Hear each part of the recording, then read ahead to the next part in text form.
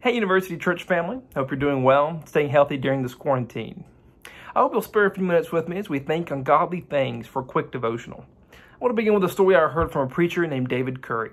If you like the audio of this lesson, I'd love to share it with you. The story goes like this. There was a boy named Tommy Sullivan who lived in this Mayberry-like town somewhere in the USA. In the center of this town went a lake that all the boys would play in on Saturdays. What the boys would do is they would take these little toy sailboats down to the water and walk beside them as they sailed downstream. Well, Tommy Sullivan wanted a boat more than anything. So one day he said to his dad, Dad, can you please buy me a boat so I can play with the other kids? Well, his family was very poor. So his dad sent him a reply, Son, we just can't afford a toy boat. But if you work around town, I'm sure you could come up with supplies to make your own. So that's what little Tommy did. He mowed lawns, took a paper route, painted fences, and worked until he was able to get some wood, some string, a sail, and among other supplies to build his boat. When he finished building it, he looked at it, and he said to himself, I have labored for this boat. I love it, and it is a reflection of myself. So he took some paint and wrote SS Sullivan on the back. Saturday came along, he grabbed his boat after breakfast and ran down to the water and put the boat in the water and walked alongside the other young boys as a whole clan of boats went down the stream. All of a sudden, there was a flash of lightning behind them, and the boys turned and looked, and a summer storm was brewing behind them. It was almost upon them. Boys turned back towards the water to retrieve the boats, but Tommy's boat was caught in the gust of wind from the storm front, and it drifted in the middle of the lake and further and further down the stream.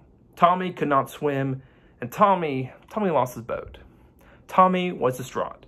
He sulked around the house for several days as he tried to recover from his loss.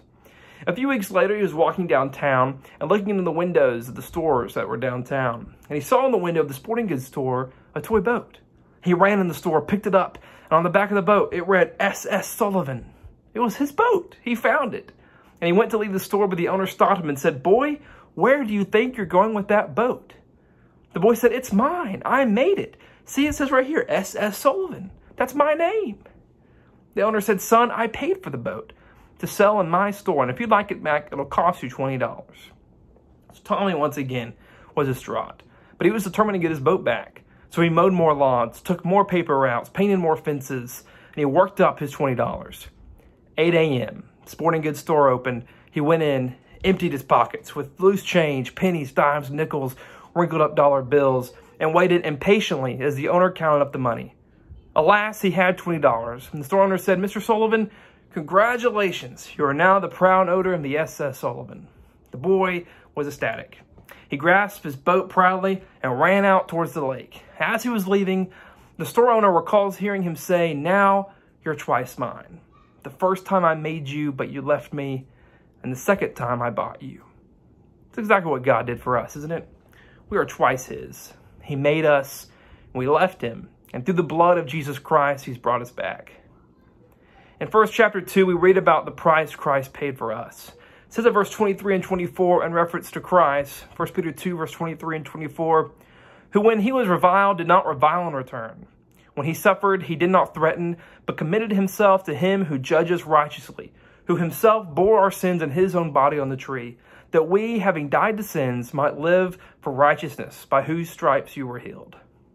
Christ bought us with his blood, so our sins could be forgiven, so that one day we could hear the words, Well done, good and faithful servant. No matter what trials we experience, no matter the pain in life or the isolation we feel, say during our quarantine, we can always seek refuge and comfort in knowing that Jesus died for you and me. Psalms 46 says, God is our refuge and strength, a very present help in trouble. Therefore, we will not fear.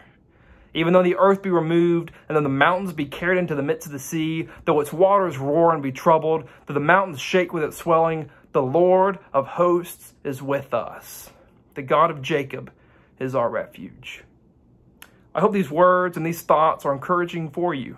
And I pray for your health and for your safety during this time, and that we can meet together as brothers and sisters in Christ again soon. Thank you so much.